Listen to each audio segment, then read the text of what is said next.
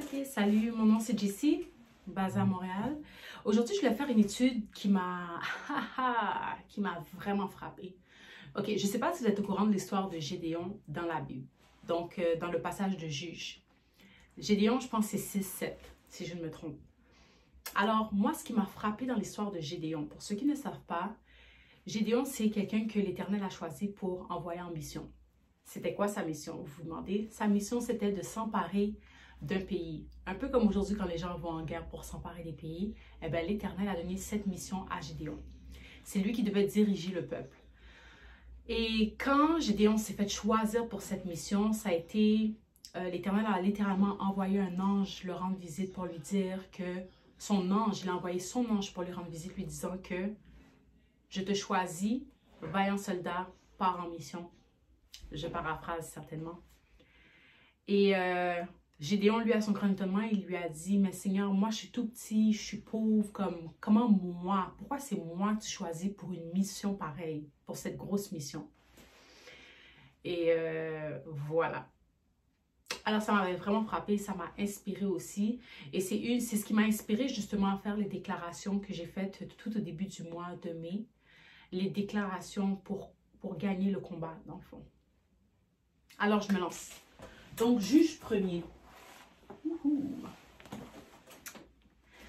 Le titre pour aujourd'hui, l'étude que je fais, ou plutôt, euh, ouais, l'étude que je fais aujourd'hui s'intitule Lorsque Dieu nous envoie au combat. OK? Euh, le passage que je vais utiliser, ça va être Juge, verset 1. Je vais m'arrêter là seulement pour aujourd'hui. Je vais probablement faire une série qui va continuer, mais pour le moment, Juge, verset 1. Alors, j'ai certainement pris des notes, puis je vais lire euh, à partir de mes notes. OK? La vie de chrétien est un combat constant, ou plutôt un combat spirituel constant. OK? Euh, la parole nous enseigne que nous ne combattons pas le, le excusez-moi, nous ne combattons pas la chair et le sang, mais nous combattons les dominations, les princes de ce monde, des ténèbres et les esprits méchants dans les lieux célestes. Et ça, d'où ça vient? Ça vient de Éphésiens 6, 12. Alors, la première chose à savoir, c'est que dans le combat, la vie d'un chrétien qui a un combat, on ne parle pas du combat comme si tous les jours on est en train de se battre euh, avec X, Y, Z, que ce soit dans les rues, au travail ou avec notre famille. C'est parce que c'est pas ce dont on parle en ce moment. Euh, la Bible nous dit que chaque combat qu'on a est spirituel. On sait qu'un chrétien, euh, qu'on parle de chrétien, c'est spirituel. Même qu'on parle de l'ennemi, le diable, on parle spirituel. Qu'on parle de l'esprit du Dieu, de Dieu, on parle spirituel. Euh, même lorsqu'on parle d'aimer, c'est spirituel. Alors, c'est toutes des choses qu'on ne voit pas. Même les mots qu'on dit, c'est vrai, on les entend, mais c'est spirituel, tu vois ou du moins c'est un, un, impact dans le spirituel. Alors maintenant, c'est la question qui vient comme c'est comment se manifeste un combat spirituel? Tu sais, si c'est invisible, on voit absolument rien. Comment on peut savoir qu'on est dans un combat spirituel? Est-ce que toi, tu sais si tu es dans un combat spirituel ou non? Tu t'es déjà posé la question? Alors, je vais vous lire la réponse pour savoir tout d'abord comment on est dans un combat spirituel. Alors en ce moment, je suis juste vraiment en train d'établir une base pour aller ensuite dans le verset de Juge 6, verset 1. Alors j'y vais. Alors comment reconnaître euh, qu'on est dans... Comment se manifeste un combat spirituel? Il est important de savoir que le monde a été formé de choses invisibles tout d'abord. OK? Et ça, ça nous le confirme dans Hébreu 11, 3. Même, je pourrais même dire dans Genèse que la lumière soit. Enfin. Et donc, avant que quelque chose se manifeste physiquement, des paroles ont été prononcées dans le spirituel. Tu sais, nous, souvent, euh, en tant qu'hommes, c'est pour ça aussi, il y a un verset dans la Bible qui dit, nous ne marchons pas euh, selon notre vue, mais par la foi. C'est, tu sais, on a cette habitude, nous, hommes, les humains, de se fier sur ce qu'on voit. Exemple, si on voit une voiture rouge, on va dire, ben, c'est une voiture rouge. On ne va pas réfléchir plus loin. Si on voit, exemple, euh, euh, quelqu'un qui semble gentil, eh on va assumer que la personne est gentille. Si on voit que la personne peut-être euh, semble méchante, on va assumer qu'elle est méchante. Enfin, mais on, y va vraiment par nos yeux. Même, je sais pas pour vous, mais moi, quand je mange, je mange avec mes yeux. Fait que je pourrais le prendre aussi ça comme exemple pour justifier que nous, en tant qu'hommes, c'est les yeux. Et même, je pourrais aller plus loin. Même exemple, si on veut juger quelqu'un, on va le juger par son apparence, son habillement. On va le juger euh, euh, parce par les choses qu'on voit, par les œuvres qu'on voit qu'il fait. Mais on ne sait pas qu'est-ce qu'il fait dans euh, son lieu secret. Enfin. Alors, pour revenir au sujet. Comment reconnaître que nous sommes dans un combat spirituel? Alors, lorsque quelque chose ou quelqu'un prend la place première de Dieu dans notre cœur et nos pensées, lorsqu'on euh, demanda à Dieu dans le passé, euh, un de ses disciples, dans le verset de Matthieu 22, 37-37, alors on lui demande, Maître, Maître, quel est le plus grand commandement de la loi? Et Jésus lui répondit, Tu aimeras ton Seigneur ton Dieu de tout ton cœur, de toute ton âme, de toute ta pensée. Alors, pour la question, comment savoir si on est dans un combat spirituel? Eh bien, c'est simple. C'est quand tu sais quelque chose a pris la place de Dieu. C'est là que tu sais que tu es dans un combat spirituel. Et euh, ça revient un peu aussi à l'idolâtrie, dans le fond.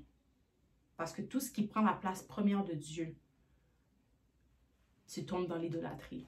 Et euh, quand on essaie de définir, si on, veut définir maintenant c'est quoi l'idolâtrie, très facile, on peut, la première chose qui va, venir, qui va nous venir en tête, ce serait de adorer des petits dieux ou des dieux, des, des, minuscules, des faux dieux.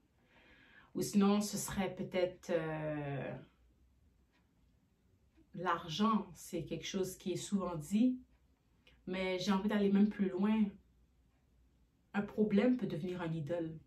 Exemple, euh, tu es dans une difficulté, puis quand tu te réveilles, la seule chose à laquelle tu penses, c'est cette difficulté. Quand tu dors, la seule chose à laquelle tu penses, c'est cette difficulté. Quand tu, tu, tu, tu, prends ta journée en main, la seule chose à laquelle tu penses, c'est cette difficulté, ben, ça voudrait dire que cette difficulté aussi devient ton idole. C'est comme si Dieu est plus dans ton esprit, tu médites plus Dieu jour et nuit, tu médites plus sa parole, tu médites plutôt ton problème. Alors, l'idolâtrie va bien plus loin que des faux dieux. Et encore, tes enfants peuvent être une forme d'idole, une bénédiction que Dieu te donne peut être une idole. Une mission que Dieu te donne peut devenir une idole pour toi, un idole pour toi, devrais-je dire. Euh, c'est ça. Alors, dès que ça prend la place de Dieu, là, euh, tu tombes dans l'idolâtrie. Et c'est là que tu sais que tu es dans un combat spirituel. OK? Et ça, ça m'amène à Juge 1, euh, Juge 6, verset 1. Alors, ça dit comme suit. Je vais lire directement de la Bible, ça va être juste plus simple. Alors, juste pour faire une mise en contexte, OK? Juge. Juge, ça, dans le fond, c'est un, un chapitre qu'on retrouve dans l'Ancien Testament juste après euh, Josué. Et puis dans le fond, ça c'est quand Dieu avait promis au peuple Israël euh, la terre promise. Et puis là, euh, c'est comme il a mis différentes, différentes figures pour diriger son armée, pour arriver à cette promesse que Dieu les avait faite. après les avoir délivrés justement de la main des Égyptiens où est-ce que le peuple Israël était esclave, malheureux. Euh, alors c'est ça, Dieu les a fait sortir de là. Et euh, dans le livre de Juges, vraiment, euh, je n'ai pas terminé le livre, je vais être honnête, mais jusqu'à maintenant, je suis rendue au verset 13. Ce que je vois, c'est la conquête d'un pays qui est dans la terre promise, la conquête d'un pays, et puis à chaque fois, il y a différents dirigeants qui vont diriger l'armée d'Israël pour pouvoir avoir ce pays ou la terre en question. Et puis, à la tête de cette armée, euh, Dieu, tout au long du chapitre, choisit les leaders qui met à l'avant pour cette mission importante. Alors, c'est ça. Alors, on est rendu à Gédéon. OK? Mais Gédéon, c'est là que c'est, ben, Gédéon, c'est, ok, je vais lire là où est-ce que le Seigneur, justement, le choisit. Ok? Alors, 6.1. Les, les enfants d'Israël firent ce qui déplaît à l'Éternel, et l'Éternel les livra entre les mains de Madian pendant sept ans. Euh, ce passage-là, ce que ça nous dévoile, c'est que euh, quand on fait quelque chose qui déplaît à l'Éternel, il va nous livrer dans les mains de nos ennemis. Il va utiliser notre ennemi pour nous ramener dans le droit chemin. Et là, j'ai pas le temps vraiment de passer au travers euh, chaque verset, mais j'ai remarqué un pattern dans le livre de Juges où est-ce que sept fois, j'ai compté, au moins j'ai compté sept fois jusqu'au verset 13, que le peuple Israël fit ce qui était mal à l'éternel, ce qui était mal aux yeux de l'éternel. Alors, euh, souvent, quand euh, c'est dit que Israël a fait quelque chose de mal aux yeux de l'éternel, c'est toujours associé à l'idolâtrie. Et je vais partager les passages que j'ai trouvés où est-ce que euh, cette phrase revient souvent, que Israël fit ce qui était mal aux yeux de l'Éternel. Donc, on va le retrouver dans Juge 2, verset 11. OK.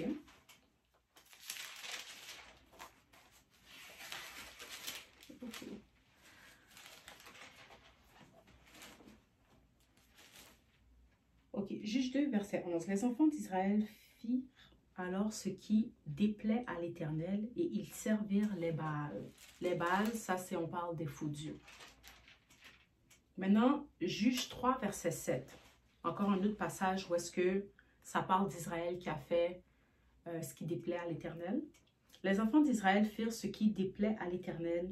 Ils oublièrent l'Éternel et ils servirent les Baals et les idoles. Encore un peu plus loin, Juge 3, verset 12. Les enfants d'Israël firent encore ce qui déplaît à l'Éternel, et l'Éternel euh, fortifia Églon, roi de Moab, qui était leur ennemi, contre Israël parce qu'ils avaient fait ce qui déplaît à l'Éternel.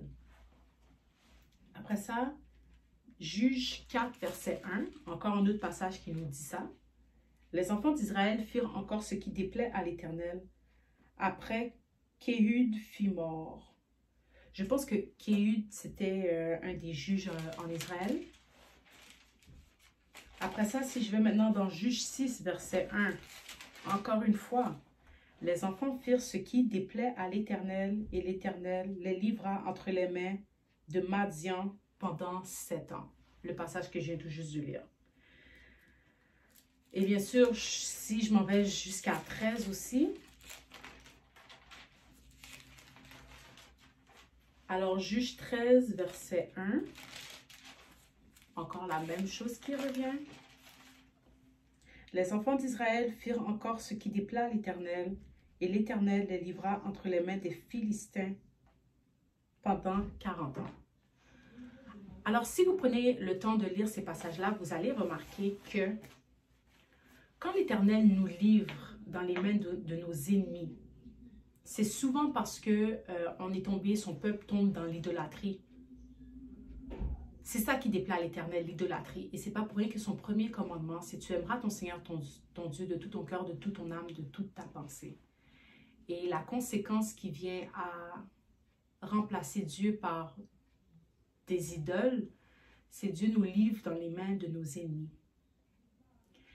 Et c'est comme ça euh, que je constate que les guerres prennent euh, naissance. C'est toujours le même pattern. Désobéissance, ok, promesse, là le peuple désobéit à Dieu, et là Dieu les livre entre les mains de l'ennemi, et là Israël se reprend, Israël reprend ses sens, remet Dieu à sa place et se, je pourrais dire, se confesse, si je pourrais dire ça. Quoique dans le temps, c'était pas vraiment, dans l'Ancien Testament, c'était pas, enfin.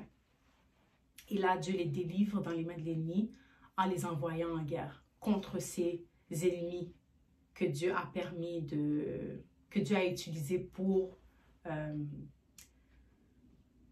reprendre Israël, si je pourrais dire ça comme ça. Alors, c'est ça. C'est ça euh, que je voulais partager, donc le verset 1.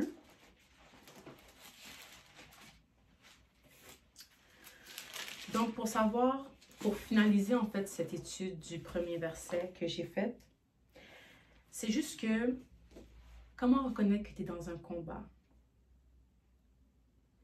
Des fois, c'est difficile à savoir parce que moi, j'ai jamais vraiment eu cette conscience ou cette compréhension de reconnaître quand, quand je suis dans un combat seulement cette année, euh, durant ma marche avec Dieu.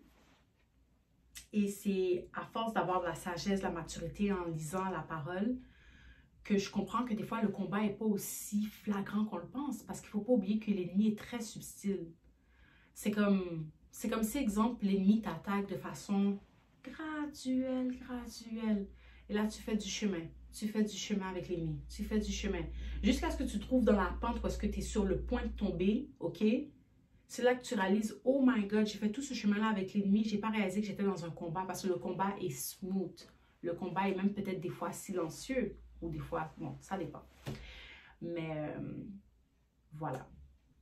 Alors, euh, chers saints, je vous, je vous exhorte de mettre Dieu de l'avant. C'est un défi pour moi aussi.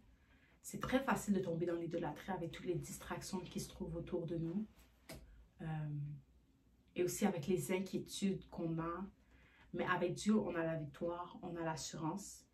Et je vous encourage de lire le passage Juge 6. Euh, je vais refaire une prochaine vidéo sur euh, la continuité de ce passage. Et j'espère qu'à la fin de cette série, on aura les armes pour... On aura les armes nécessaires et la sagesse nécessaire pour reconnaître la saison dans laquelle on est. Dans nos vies, bien sûr. C'est sûr que les saisons ne sont pas les mêmes pour chaque chrétien, mais c'est important d'avoir du discernement et le discernement commence là, avec la parole. Alors, euh, je vous souhaite une bonne journée et que Dieu vous bénisse. À la prochaine. Oh, abonnez-vous aussi, partagez et bien sûr, hum, commentez. Commentez quelque chose qui peut-être euh, vous a frappé ou une révélation que Dieu vous a faite euh, à travers ce vidéo. Bye.